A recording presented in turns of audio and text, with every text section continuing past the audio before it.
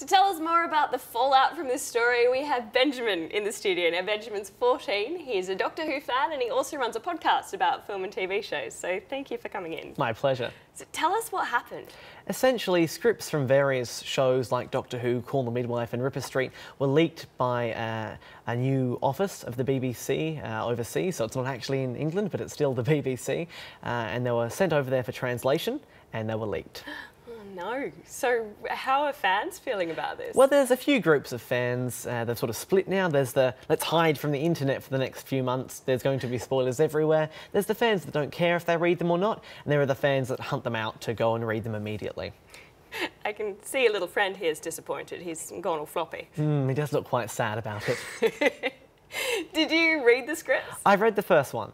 Um, I was a little bit disappointed that Steven Moffat hadn't shaken things up as much as he said he would. Um, it still feels like it's written for Matt Smith, but I'm sure the scripts will progress as uh, Peter Capaldi's Doctor progresses. And what do you think of the new Doctor? I, I love uh, having an older actor. I'm a, predominantly a fan of the classic series, so to have a William Hartnell-esque Doctor back is something I'm very much looking forward to seeing. Yep, me too. Thanks so much for coming in, Benjamin. My pleasure.